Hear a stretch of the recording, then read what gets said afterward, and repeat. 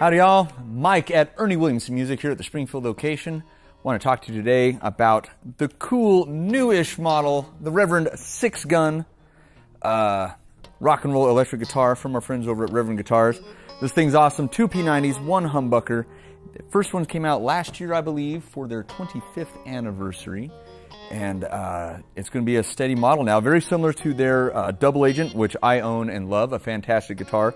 But this one being the Six Gun, they added that third pickup in there, that middle P90 there to give you just more strat-like tones. So you got the five-way selector right here, uh, the, the standard treble bleed on the volume knob, you got your tone knob, and then the essential bass contour, which really helps just find your perfect EQ in the mix of the band.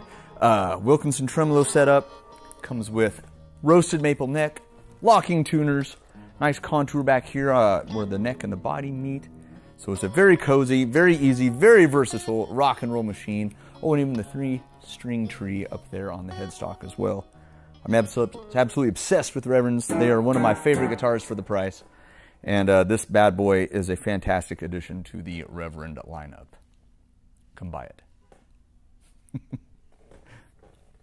uh, you should probably know we're playing through a 68 Princeton reverb amplifier, and I got a Boss Blues driver, the BD2 down here for just a little more attitude with it. So let's check it out clean first and see what we think here.